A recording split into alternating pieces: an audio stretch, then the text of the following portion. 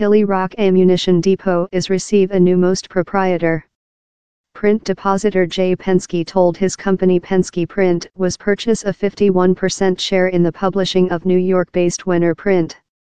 The 50-year-old ammunition depot is top named for cover piece of music and famous civilization, but as well features policy journalistic and comment. Founding member January Wenner begun the ammunition depot in San Francisco in 1967 in piece of music reviewer Ralph Gleason. It has remained by the monitoring of his business, Wenner Print, with later Singapore-based BandLab Technologies as well owns a 49% share in the publishing.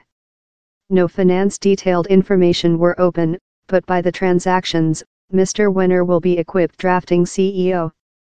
The ammunition depot has been cladding a stricter industry environmental of deceased, as the whole publication production adapts to a more than in digital form betrothed audience.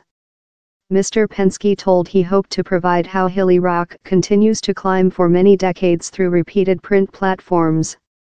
Ours concern in Hilly Rock is managed by its human beings, its culture importance and the globally acknowledged mark how has no equal in its areas of impact, he added. Hilly Rock has been a device of peace of music, comment and U.S. policy lifetime for many decades. But it is as well so named for its portrait frontline relating, that were for Lothier the final character of a piece of music instrument's successful and appropriateness. Yet, its repute for powerful journalistic incurred a strike following it published a erroneous history in 2014 on an estimated rape her on college campus at the College of Virginia.